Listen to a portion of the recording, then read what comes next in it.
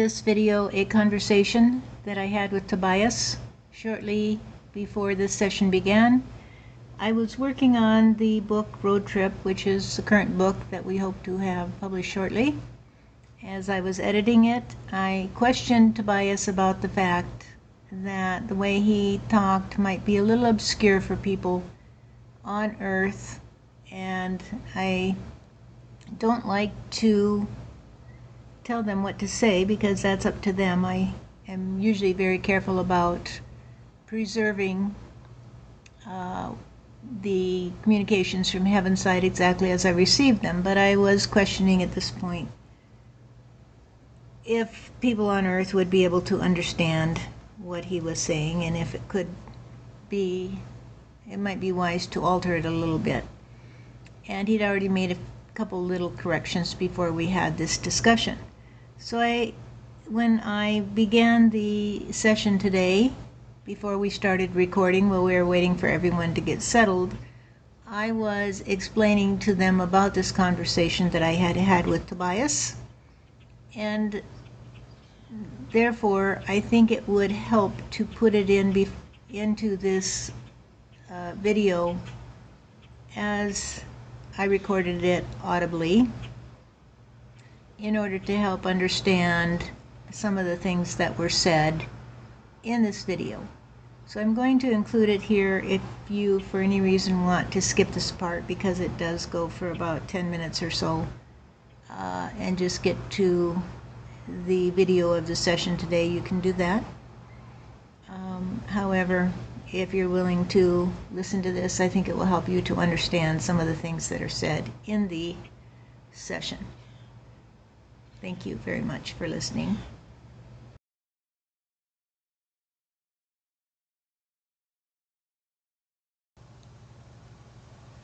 Do people there understand these things? Because people here don't. People in heaven understand what I'm saying because they can see the problem from here. People on earth cannot understand it because they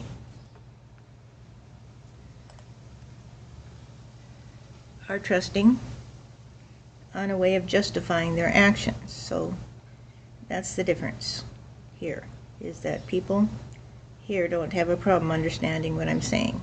That you have to see the results of your actions if you're going to understand how destructive they are. And so the people on earth don't see this because they don't have an expanded point of view. So they are continuously going through the same door, even though it leads them into the fate of hate, which is destruction, war, starvation, mass killings, etc., etc. They just can't see it, so they keep blindly going through the same door. But yes, the people here in heaven do understand that. It just gets lost when they come back to earth because they are trained by their parents and their society not to understand. Because if they understood what we're saying here, then they would block the doors with their bodies and say, hey, don't go through that door because it leads to horrible consequences. However, the people on earth don't want to know it because if they did know it, they would have to block the door, and others would blow them away in order to get through that door. So until everybody understands it, the ones who figure it out are going to be continually blown away by the others who just want to take the easy route, which is to keep living in stupidity and hate. It's just the way it is. So there have to be enough people who will block the door and say, We've gone through this door so many times. Don't you get it? It will just lead to another war. And or the destruction of the earth and of humanity because eventually God says, well, you haven't figured it out, and so we'll just wipe you out and I'll start a new game. And that will be the end of humanity. But they can't figure it out because they are so afraid of being the ones that stand in front of the door and get blown away. You see? The ones who stand in front of the door and get blown away by the fools who can't understand that the reason they're standing in front of the door is to save them from the horror that awaits them. So they just keep killing them over and over again, or they destroy them in some other way by taking away their platform so they can't speak to others and get others to stand in front of the door.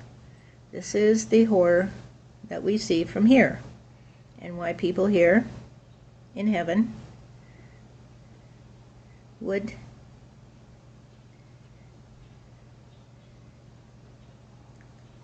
not bar the door anymore than those on earth because they also know that they're going to go back to earth and have to go through that door again and again and again because they have not begun to redeem their energy on a new synergy. So they just keep going through the door and they can sit here in heaven and see it, but they know they're going to go to earth and go through that door. So it's like saying you're watching yourself go through the door to hell again and again and again. And you can't do anything about it because you are on the karmic wheel. You're going to keep going around on the karmic wheel until you figure it out while you're on earth. You got to figure it out while you're on earth. That's the key. You got to figure it out while you're there. And people are not getting it, Steph. Well, here's what I think. I think you guys got to be clear enough about this. I know it's kind of ambiguous to these people. They're not getting it.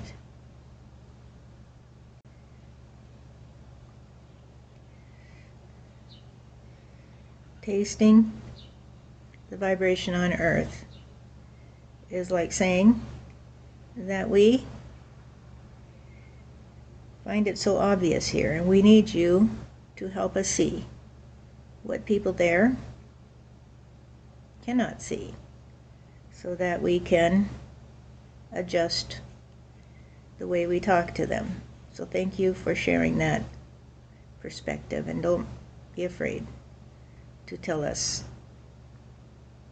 how you see it because we need to have your point of view as well.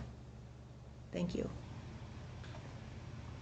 So, are you saying to me, and I'm appreciating this conversation, are you saying to me that the people there can see what's happening? However, they already are aware that if they stand in front of the door, they're going to have to be blown away because they're going to have the karmic uh, balance for the fact that they blew others away. Yes.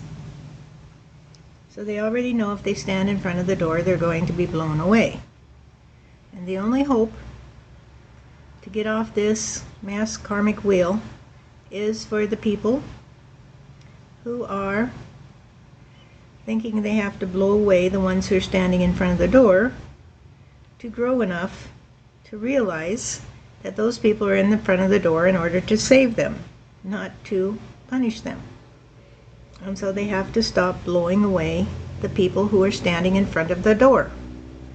And that means if they were one of the ones that stood in front of the door and got blown away, and they condemned the ones who blew them away, then they would have to be part of the ones who are blowing away the ones standing in front of the door. So they keep going round and round and round.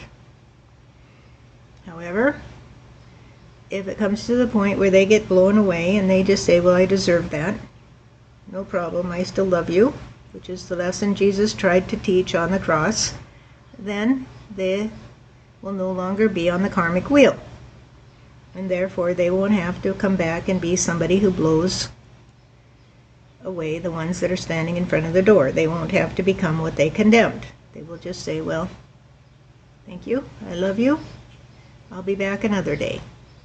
And I'll still be there to stand in front of the door to keep you from killing yourself and from keeping humanity on the karmic wheel. And so they will not suffer any consequences because they will have found peace and harmony in their hearts and they will therefore ascend into a different vibration. So it's just a different vibration that they will experience and they will no longer feel the fear of death, you see. And the ones who blew them away will still stay on the karmic ground until they figure it out and they say, well, these people that are standing in front of the door, we can't go through the door, we'll just let them be and we'll try to figure out why they're standing in front of the door instead of just blowing them away. And then people will get off the karmic ground, humanity will be able to save itself, and there will not be a need for God to eventually just wipe them all out because they haven't figured it out. I mean, there is a certain period of time, you might say, for God's patience as well. Thank you. At this point, we jump to the Saturday group session.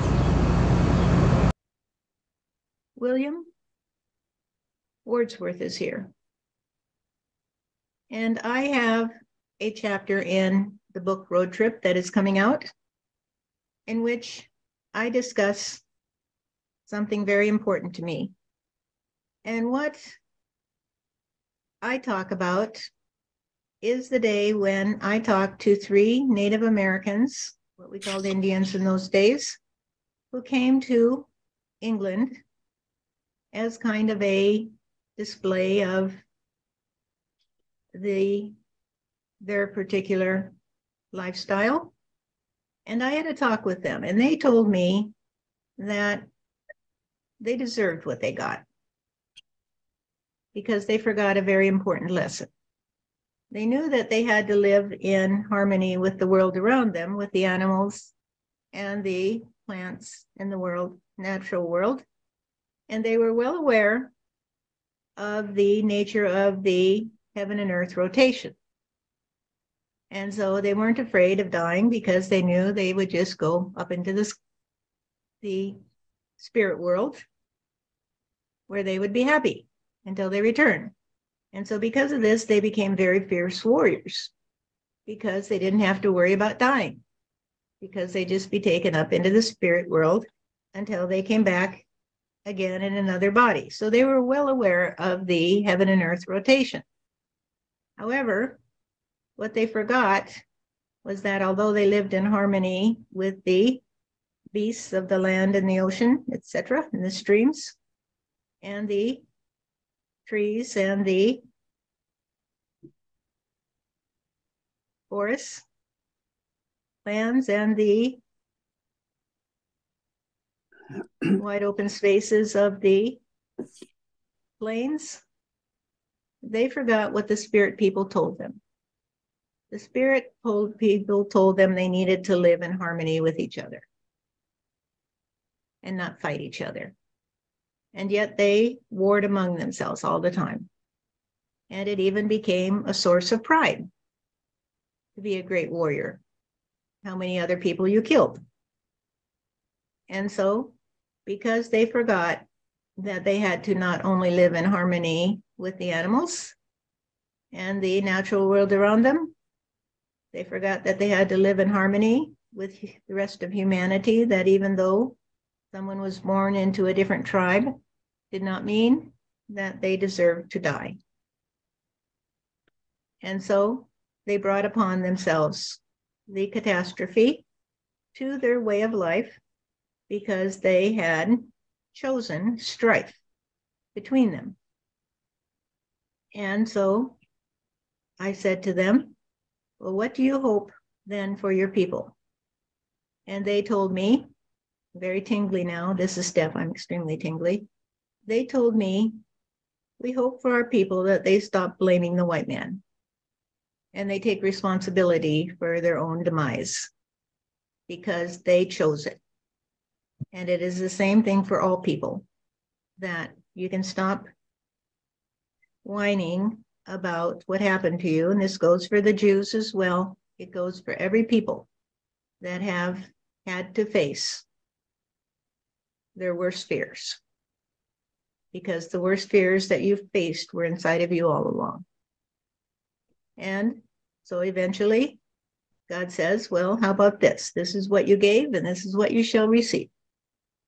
So, what you give, you shall receive. So, do not forget the lessons of these three gentle Native Americans with whom I spoke at length because I was so curious in that day and age about what they had to say. Do not forget their words, for their words were meant for humanity to help them understand that if they keep going through that door, they are going to end up reaping the only reward they gave to others, which was death and destructive energy. So thank you for listening to me. Does anyone have any questions for me while I'm here?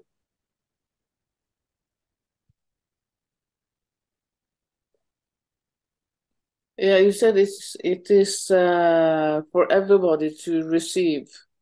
So the slaves that was taken from Africa and brought to America and other countries as slaves, it was the same for them. Well, the destruction of a way of life, destructive energy in itself, is created through the mass consciousness you see.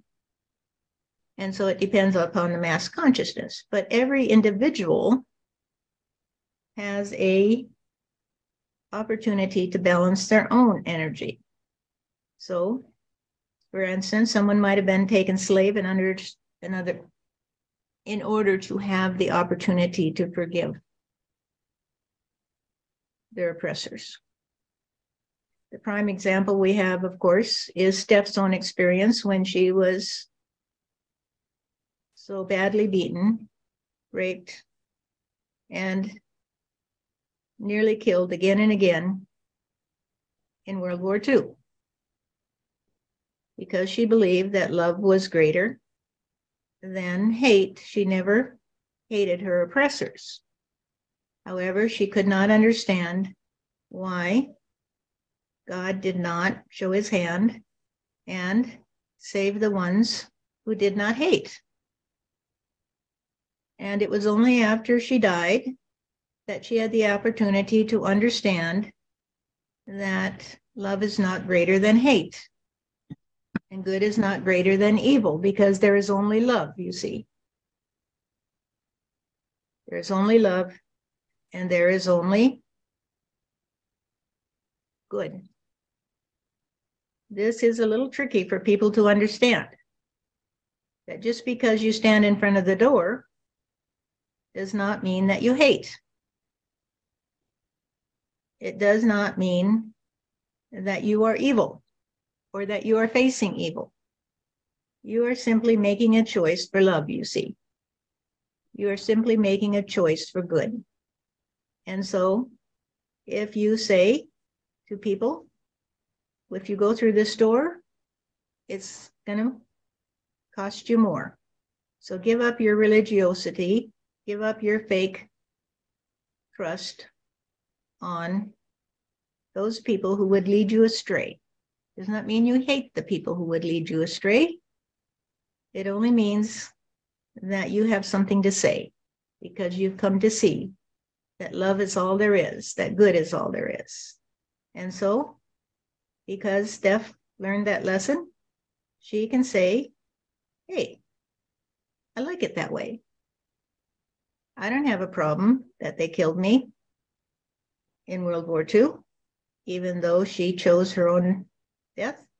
She did so under the most painful circumstances in order to be free at last from the hatred of those who could not see her humanity. And therefore, she came to see that reality sometimes requires us to be the slave or the Native American who loses his way of life or the one that people behead or crucify because this is the trust on love, you see. It is the trust that I can be free of anxiety because I know that I'm an eternal being and that I love my fellow humans enough to simply say, hey, don't go through that door, please. And if you go through that door, then you won't like what's in store. And if you have to heal me, heal me. That's okay. Because it isn't going to make me be afraid to say, don't go through that door. You see? Now, any questions? Questions. Um, first of all, when when we do die, and if we die, you know, a, a violent death, does it hurt?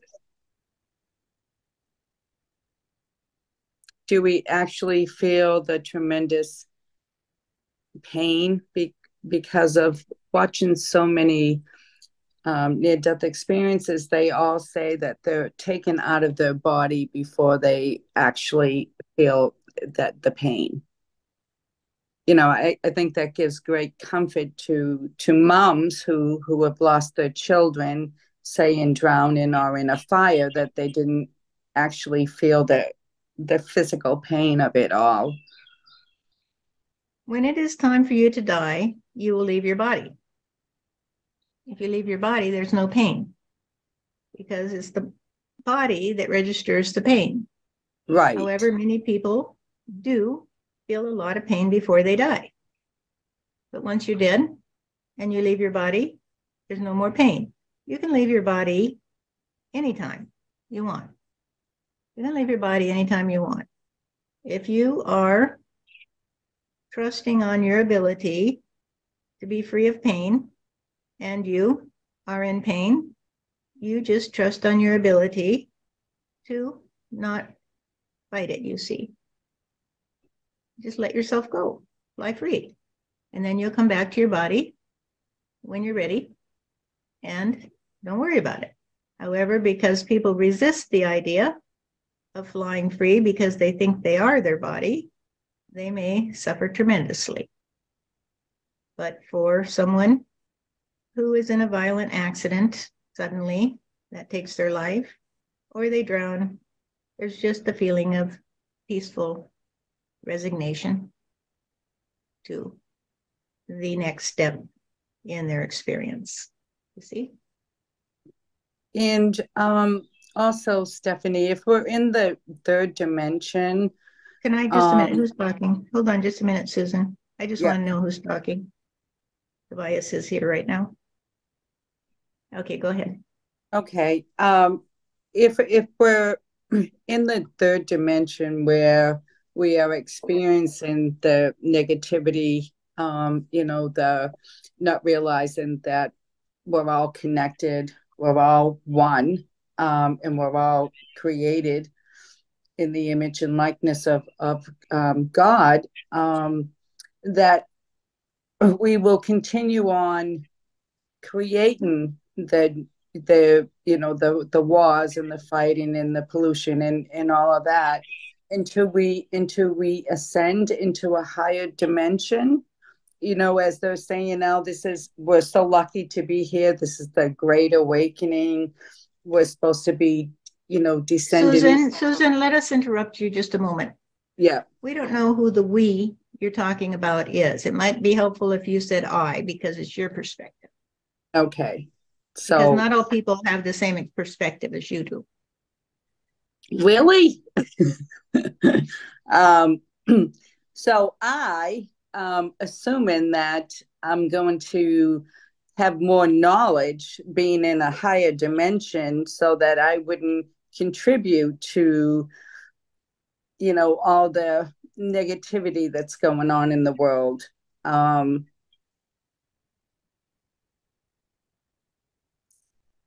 so that's what that's what I'm assuming that I am supposedly be going into a great awakening, all of us as humanity humanity into a higher dimension, so that there will be, as it is in heaven on earth, peace on earth.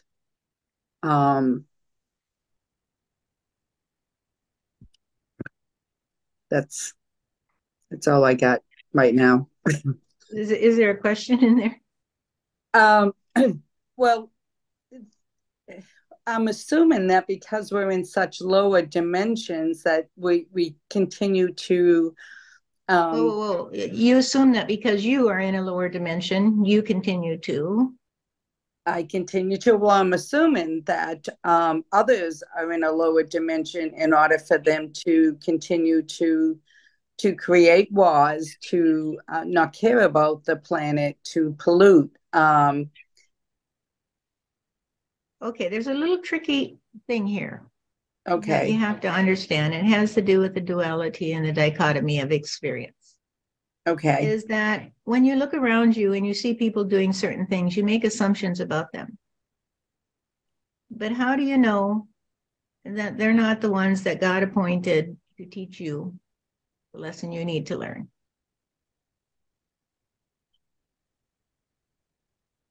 okay, In other words, if you need to learn not to go through the door, it's going to take a bunch of people who contribute to the mass consciousness to create the wars that will say to you, hey, what's going on here?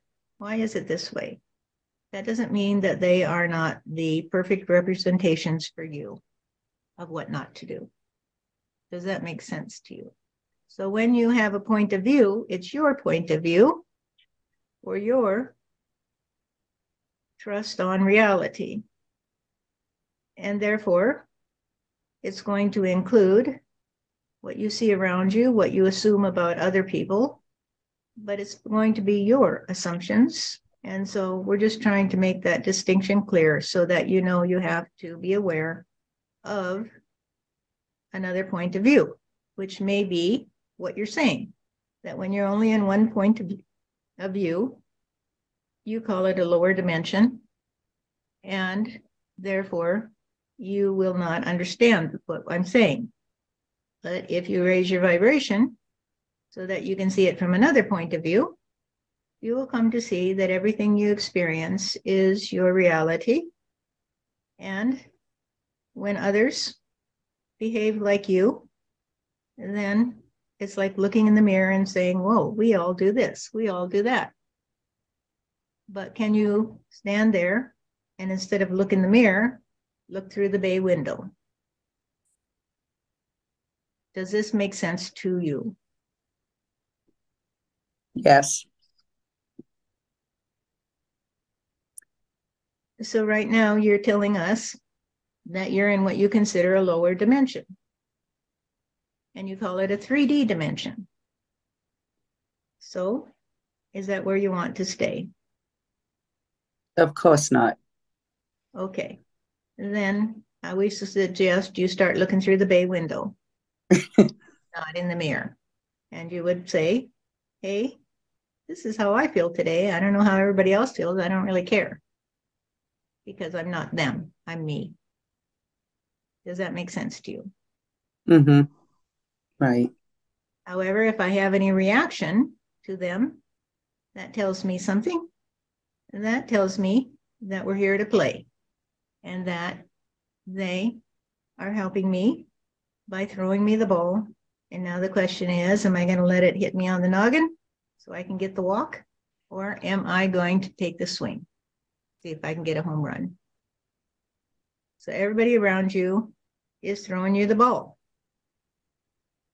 And it's up to you if you take the swing to see if you can get the home run or if you're just going to go for the walk. Step in front of the ball and let it hit you. And then whine and say, Well, you hit me, you hit me.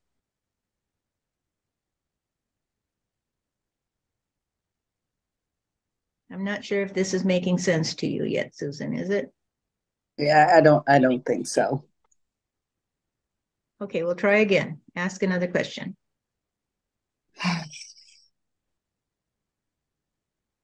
And while we're waiting, is it making sense to the rest of you? If not, feel free to, act- to raise a question. Go ahead, Susan. Um, I'm, I'm just, I guess I want to get off the wheel. I mean, we just keep, I mean, we could be, keep coming back, keep coming back, keep coming back. So I guess, is this forever that we, we come here to, to learn? I mean, to make the world a better place and then die and then go back and then come back and I, I, do you know what I'm saying? Well, we don't know if it will always be the same because that's subject to change. Life is change. However, if you're an eternal being, you're an eternal being. And we refer to it as the circle of life and not the circle of karma. It's what you want to make it. be. Because what you give, you receive because you're God, you see? So you give to yourself and you receive what you give to yourself. Simple.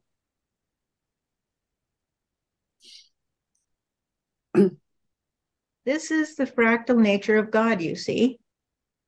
It's like looking at a mirror that has been splintered into a million pieces, or eight billion. And the question is is it just reflecting back to each other through a dark glass?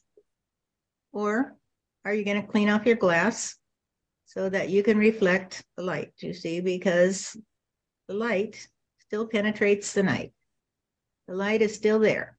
The light still burns in your heart, you see.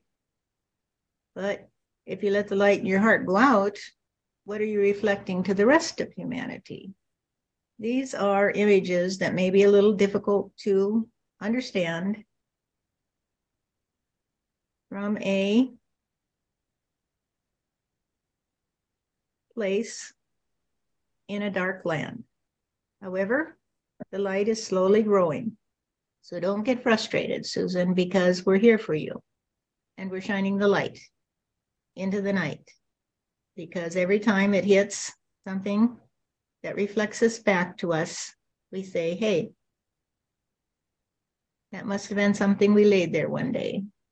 That must have been a thought we put out there that someday we'd see the light. You see? So you keep shining the light for the day when it comes back to you.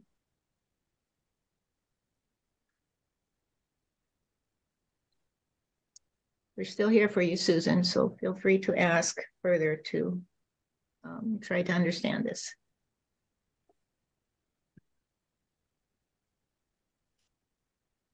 I, I just um I just want the pain and the suffering to end. Um The pain and suffering for you, for me, for my loved ones, for for humanity. Whoa, whoa, whoa, whoa. Why would you care if your loved ones are pa- having pain and suffering? because I love them. Okay, so what's your definition of love? That you suffer for them?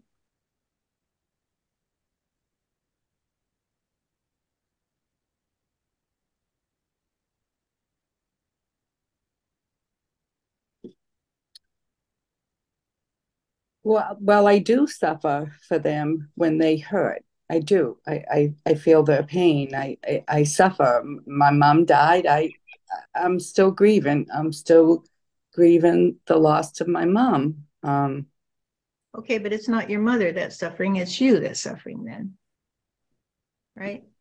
yeah, yeah, because it, it's, it's, it, I guess it's a selfish thing, right?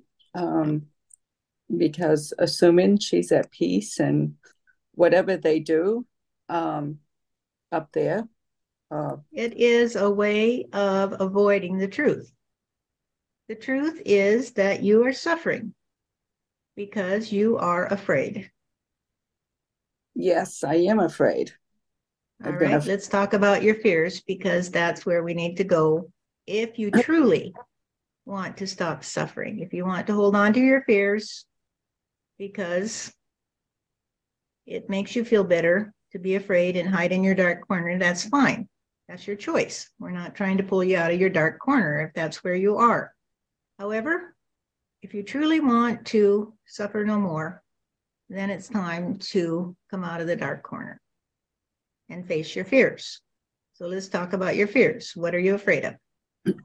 Everything. I, I believe I was born Thank you with for that offer. That, thank you for that clear statement. I believe I was born with fear. If ever since I have memory, probably as little as two that I can remember, I was afraid of the dark. I was afraid of water. I was afraid of heights. I mean, you name it, I was afraid of it. Okay, now what are you afraid of though? It's not the dark you're afraid of, it's what's hiding in the dark, right? Yes. Okay, thank you. And what are you afraid is hiding in the dark? Um, some some creature that's gonna, you know, like the boogeyman, I guess. Um, All right, very good. Have you ever seen the boogeyman? no, but I've seen movies. Those movies are great because they bring our fears to the surface. Right, right. I So have to tell you, Steph, this is one of Steph's stories. That when she was a child, she went to see a movie in the little theater in Homer, Alaska, and it was called The Creature of the Black Lagoon. and she was about seven or eight, and she went with her siblings, and she ended up hiding under a chair. It was so frightening. She remembered it for years and years, the creature that came out of the Black Lagoon.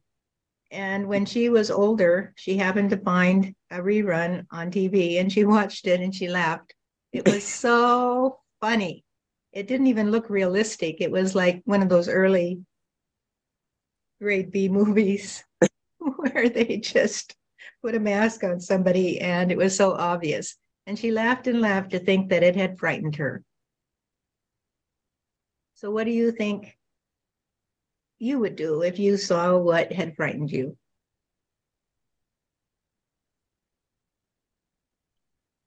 um, probably see it for what it is. um, and you know, I, I, I guess they they say in order to conquer the fears, you have to walk through it. Um, yeah, but they, but I, I mean, it's just life itself. It's just life itself. Everything in it. Um, you know, driving you know, I'm going on a trip with my kids and and I'm thinking, oh my God, what if we get into a car accident? You know what I mean? I mean, it's just it's just projecting always, always, always fear. And um and then uh, you know, of course my religion played a huge part of that. Um growing up, you know, not being good enough, always thinking that I was going to be condemned to hell. Um, you know, it's a pretty, pretty scary thing. Um, Can we suggest to you that what you're really afraid of is that God is dead? okay. Think, think about that a minute. Okay. Yeah. Yeah. If God is dead, then you're dead, right? Right. You're right. dead in the water. Yeah, that that that makes sense because you know, I always thought I had to see to believe.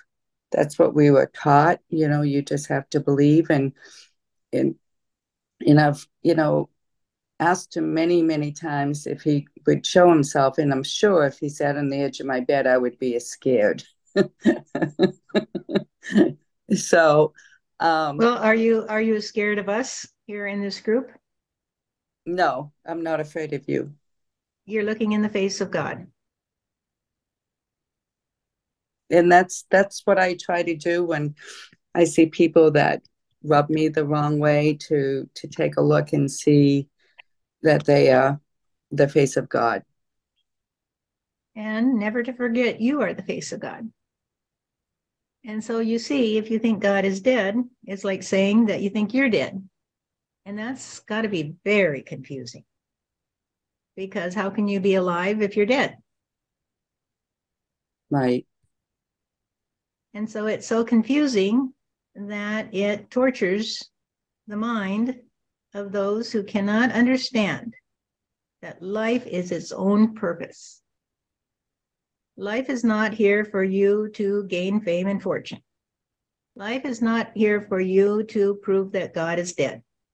Life is not here for you to suffer because somebody died.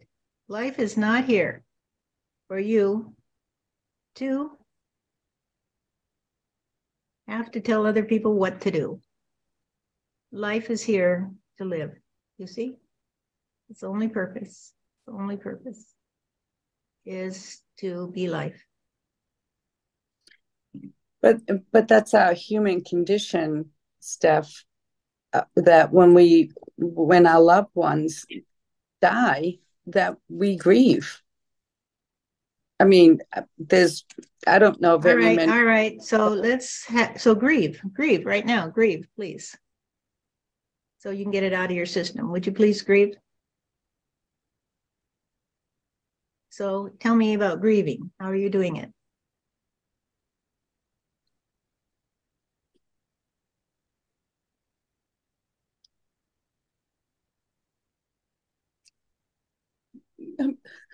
I'll cry. Thank you for being vulnerable and honest. So cry, please. And everybody needs to understand this. Crying is perfectly natural. It's not unnatural. So go ahead and cry and grieve.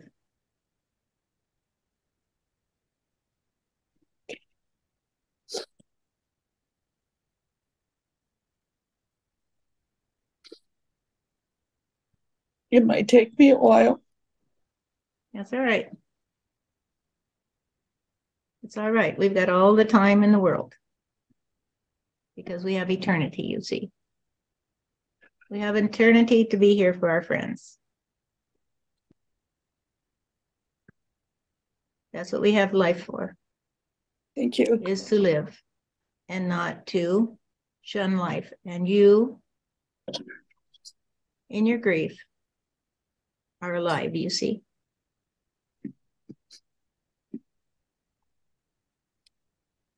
Yes.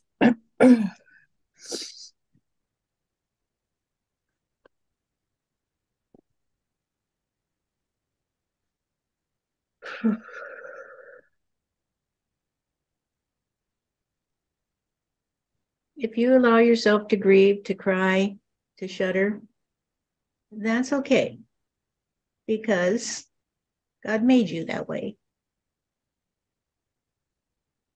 However, if you resist your grieving, it will persist. And therefore, allow yourself to grieve. There's nothing wrong with that. It's very natural. And it's very humbling for the rest of us to make space for someone to grieve.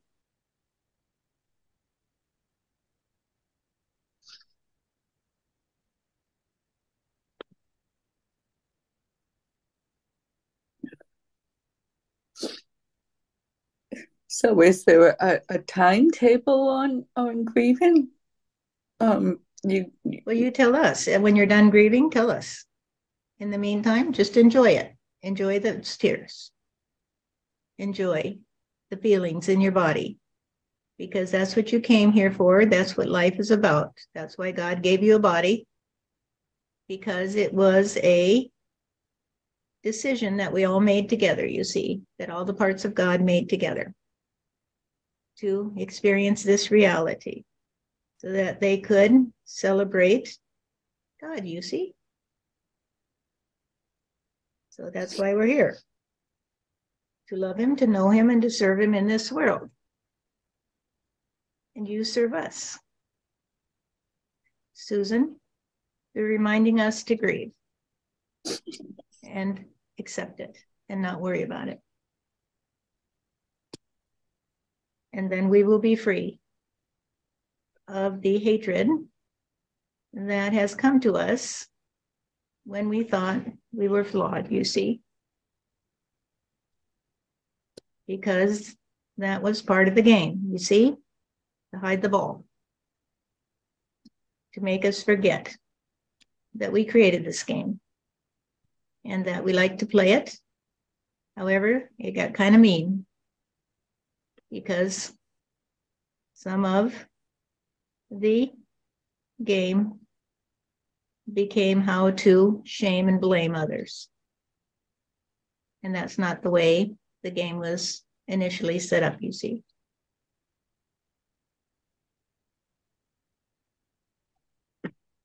So, how are you feeling, Susan? Better. Thank you for letting me share. I love you, Susan.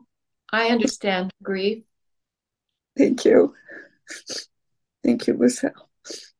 You're so Thank great. you for sharing with us, Susan. Yeah, thank you. Yeah, this is beautiful. We need to feel our feelings, and that has been my path to understand more. A lot of bad feelings. Thank you so. I appreciate it.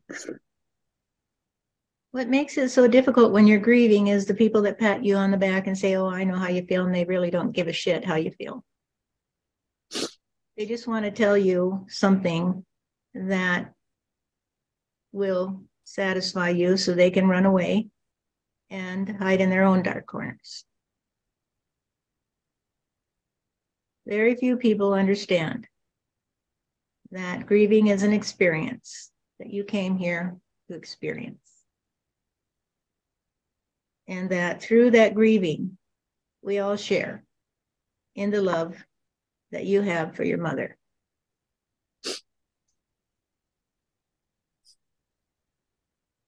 Thank you. Anybody else have thoughts?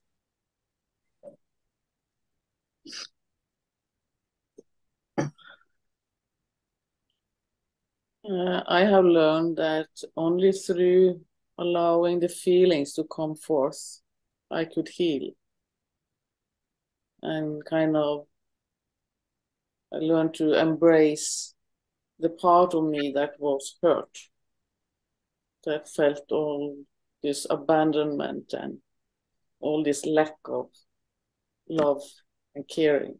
So, by embracing them and and actually go into them. It it has been it taken some time, but it's, it's very. I, I don't regret regret anything. They are the ones that has made me to who I am today. So thank you. You gave us a beautiful gift, Susan, by sharing with us. I'm so tingly right now. The tingles are just going from my head to my feet, which probably indicates that your mother's here because that's usually what happens. But you have given us so much hope without realizing it because you allowed us to sit here and share with you the feelings that were going through you, which we never could have done if you hadn't been willing to share that way. Right? Right.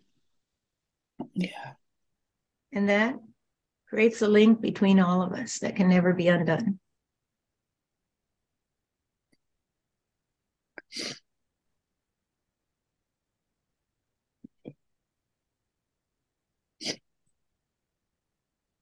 We don't have to say, oh, you poor thing. Because you see, every one of us has had to experience grief as well. And sometimes we resisted it, and sometimes it persisted. And sometimes we had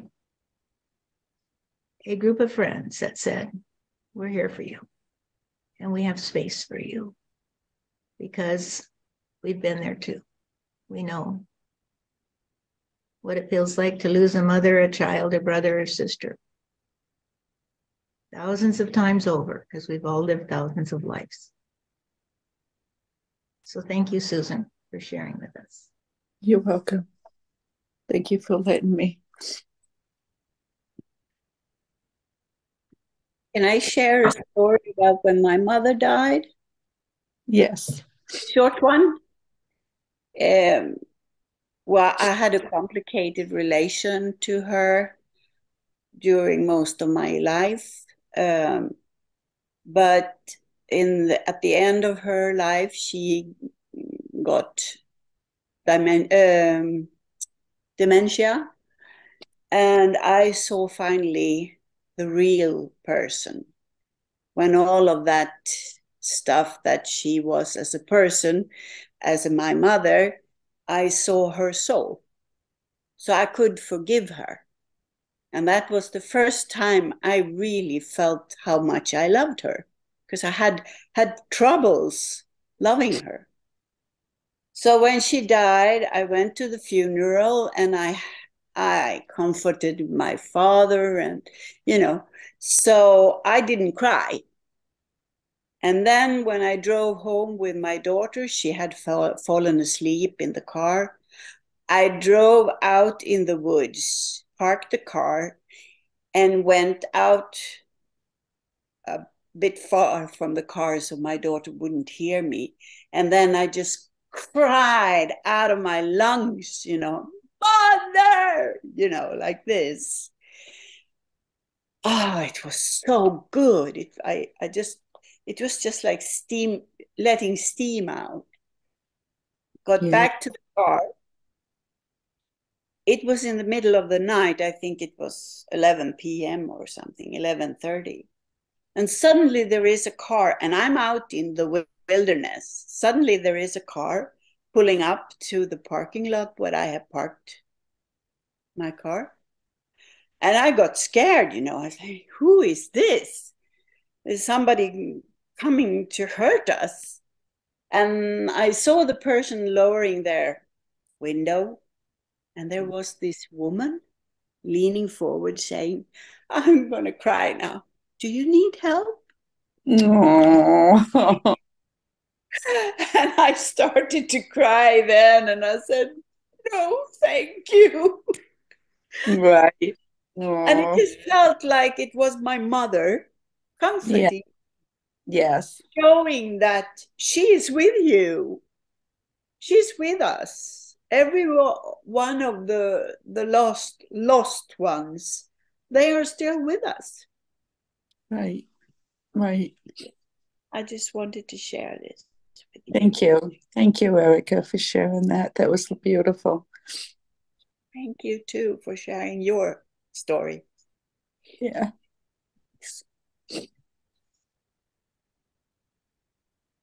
Pablo Picasso is here.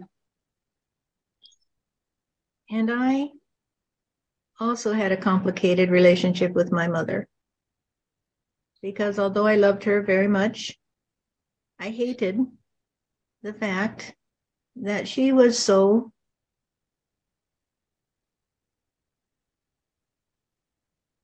beaten down by my father, his attitudes, and by the way that she was so imbued with the religiosity in which she had grown up.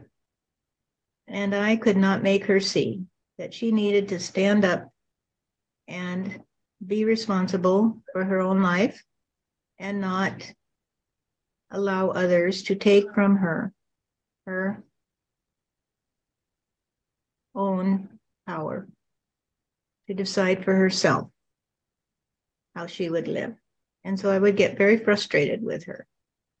And of course, I did not adhere to any religious thought, and I fought back with a vengeance against all those people that I thought were so stupid as to trust on life after death.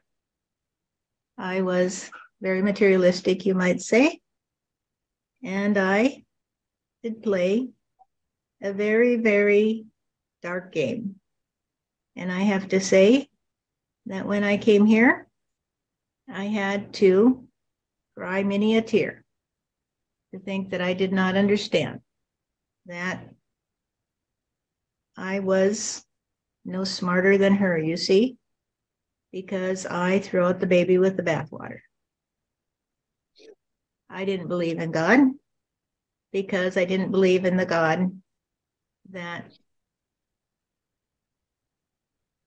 decided who would go to heaven and who would go to hell. And so I gave it all up, you see. And after I came here, I came to see something very, very important. My mother and I, you see, have a very, very deep soul bond. So deep, in fact, that we had to be the opposites because we had to balance each other out, you see. And so when we turn against religiosity with a vengeance and say, hey, all of that is there to play with the mind of humanity, then we lose our good vibration on our own power, you see. So hate always works against us. And I hated the establishment and the established religions because at that time where I lived, the Catholic Church was very much in control of the lives of people. And I thought it was really, really stupid. However, what I have come to see, you see, is that I added to the dark energy in the world. And so I had to say to myself, what am I going to do about that? Because I didn't figure it out while I was on earth. Now, what you have to understand, people, is that we've been around the wheel so many times that we've seen it all. And I've had lifetimes when I did get it and lifetimes when I didn't.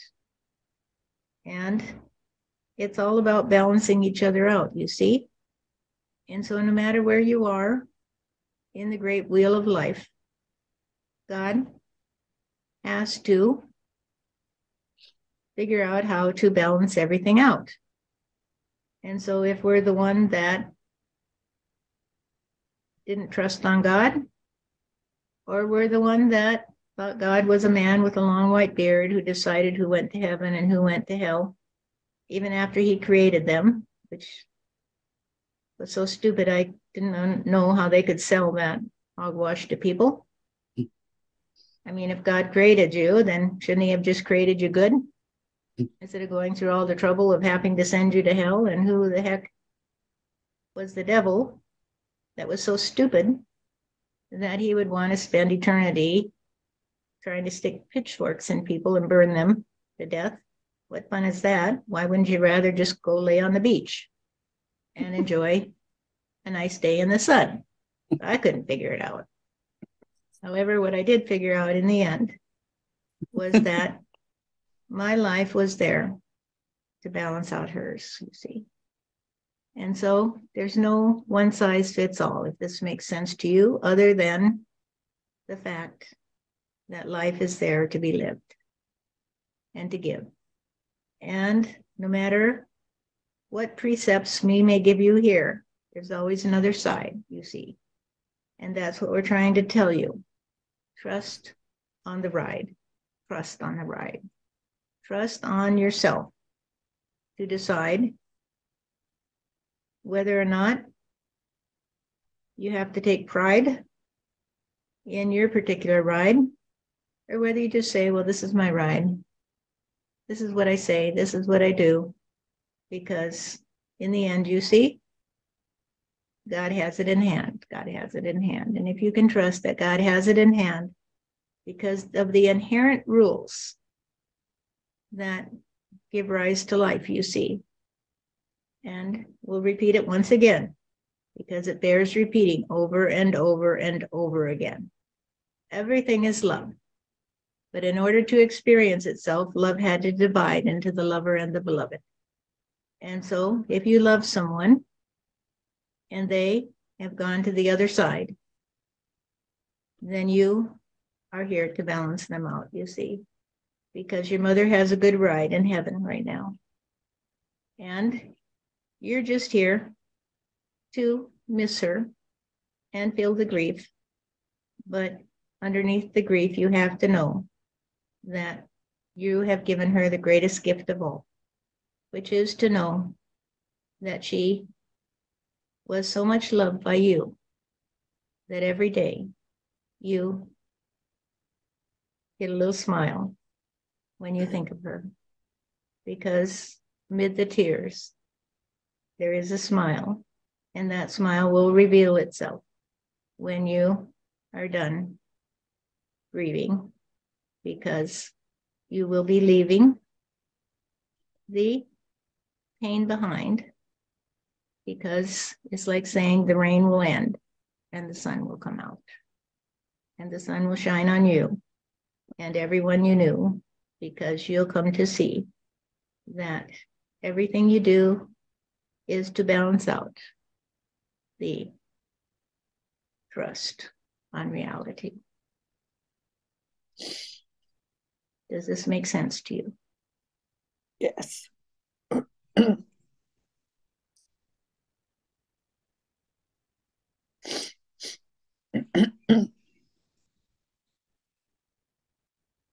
Are there any other questions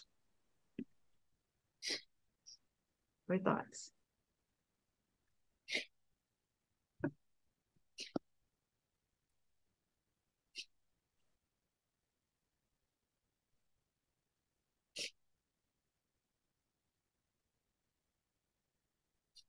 For the life of me, all I can see is rainbows everywhere.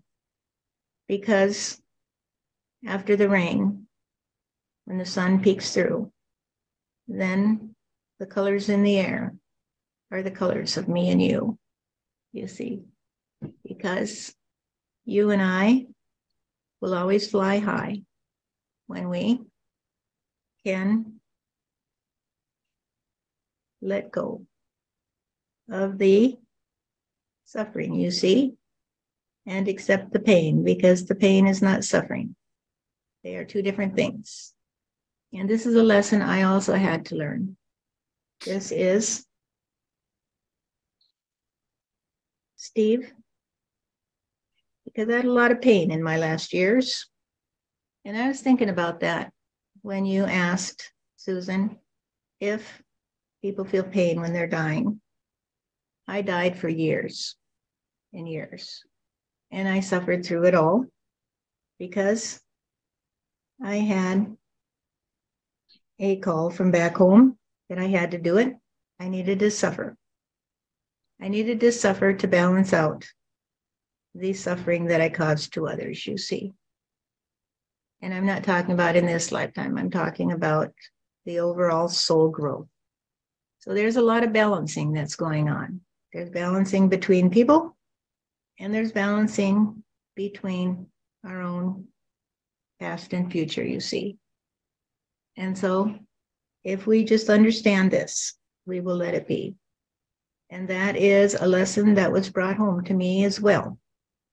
That when you are very, very connected to someone at a soul level, you balance each other out. And so, someone asked about being a slave.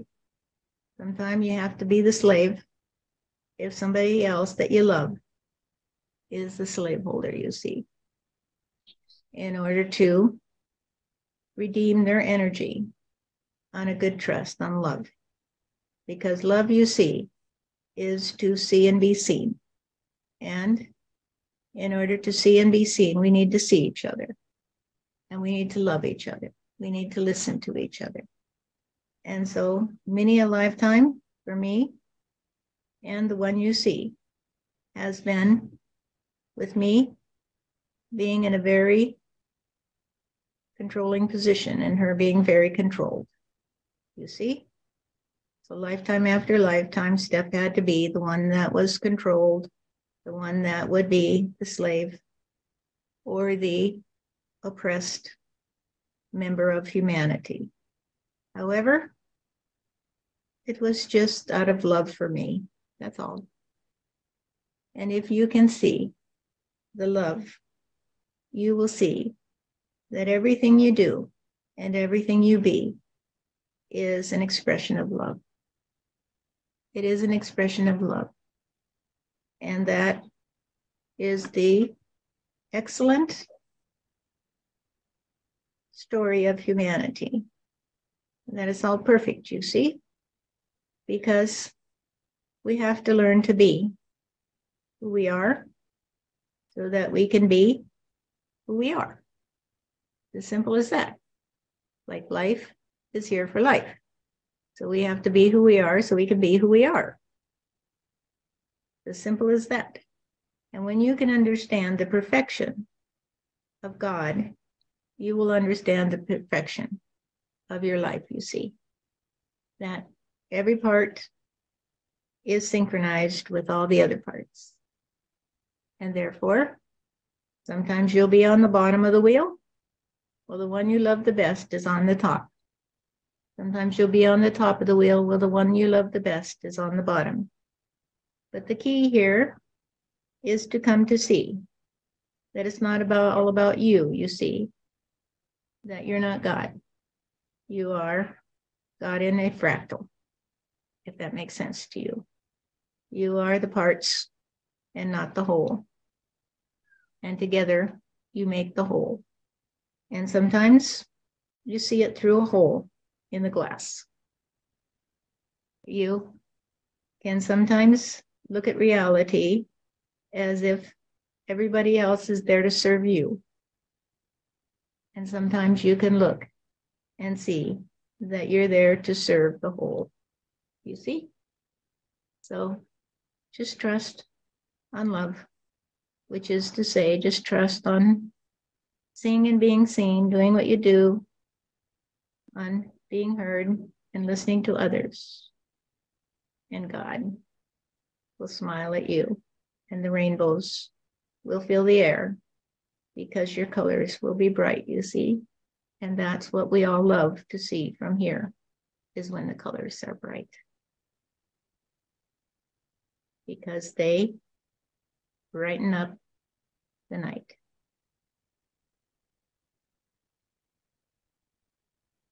Any other thoughts? The questions? If not, we will terminate for today and let everybody go have a happy day. So thank you all for being in attendance and thank you for being so vulnerable, Susan, because your vulnerability was our ability to see the vulnerability of humanity. So we can just know that we are both the vulnerable ones and we are the ones who hold the power. It is the dichotomy. Thank you. Thank you. Thank you, everybody. Thank you, Beth. Thank you, everyone. Bye bye. Thank you. Thank you. Thank you. Thank you.